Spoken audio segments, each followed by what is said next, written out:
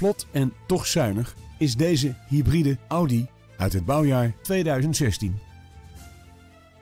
Het is een hybride, daardoor is de auto zuinig met brandstof. Het is een compleet uitgevoerde auto met onder meer centrale portiervergrendeling en donker getint glas achter. De auto is uitgerust met een bandenspanningscontrolesysteem en LED-koplampen.